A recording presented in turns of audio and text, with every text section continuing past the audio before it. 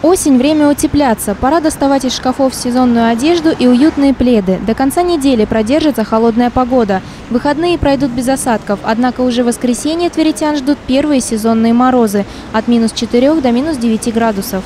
Вполне вероятно кратковременное образование такого опасного явления осеннего, как гололедица, что касается это автолюбителей всевозможных. Но вот в эти двое суток гололедица может образоваться, к понедельнику она уже растает. Понедельника в Тверскую область вернется теплая погода, но ненадолго. Всего на три дня воздух в регионе прогреется до плюс 8 градусов. Небо будет затянуто тучами, и на территории всей области будут идти дожди. Новый циклон ожидается в конце следующей недели, который принесет с собой холода. Многие тверитяне уже готовятся к первым морозам. Утепляемся, покупаем зимнюю одежду.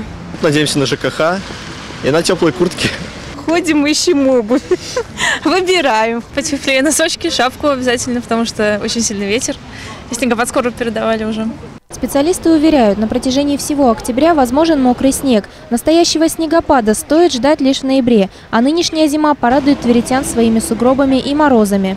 Зима ожидается в пределах нормы, но несколько холоднее, чем это было в прошлом году. В прошлом году у нас была очень теплая зима, снега было мало, чем мы расплачиваемся до сих пор. В этом году уже зима ожидается ближе к норме. Светлана Куликова, Илья Чечин, РЕН-ТВ «Пилот».